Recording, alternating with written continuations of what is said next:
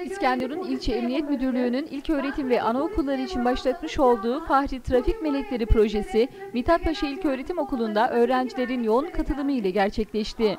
Bunu siz araç kullanacaksınız diye söylemiyorum.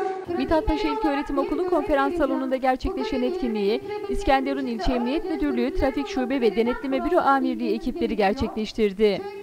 Öğrencileri trafik melekleri ilan eden polis memuru Canan Yılmaz, trafiğin tanımı hakkında öğrencileri bilgilendirdi. Burak ablanız Canan. Bugün buraya sizlere trafik ve genel güvenlik konularında bilgi vermek üzere geldik. Yılmaz, bugün buraya trafik ve genel güvenlik konularında bilgi vermeye geldik.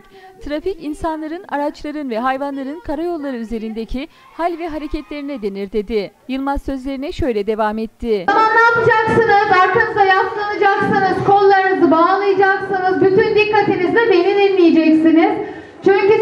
trafik meleği ilan ederken bir takım görevler de vereceğiz. Bu görevleri yerine getirmenizi isteyeceğiz sizlerden. Anlaştık mı? Arka taraf anlaştık mı? Peki trafik tanımıyla başlayalım o zaman. Trafik insanların, hayvanların ve araçların karayolları üzerindeki hal ve hareketlerine denilir. Trafikte kimler bir bakalım. İnsanlar vardır mesela yayalar, sizin gibi tatlı çocuklar, öğretmenleriniz ya da anne ve babalarınız işe gidip gelirken eğer yürüyerek gidip geliyorlarsa onlar yaya trafiğini oluşturuyor. Okulunuz eğer yürüyerek gidip geliyorsanız sizler de yaya trafiğini oluşturuyorsunuz. Trafikte bir de benim gibi trafik polisleri var. Trafik polislerinin beyaz kemerleri, beyaz kılıfları ve beyaz kepleri vardır.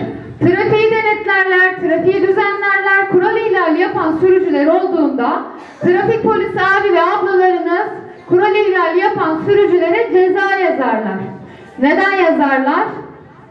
Sizin gibi trafik kurallarına uyan tatlı çocuklar okullarına güven içerisinde gidip gelsinler diye kural ihlali yapan sürücülere trafik cezası yazarlar trafik polis abi ve ablalarınız. Slide gösterimi şeklinde yapılan sunumda minikler polis abla ve ağabeylerine oldukça ilgi gösterdiler. Trafik melekleri olmak isteyen minik öğrenciler kendilerine verilen görevleri en iyi şekilde yapmak için polislere söz verdiler. Uyması gereken kuralları bilmeniz gerekiyor.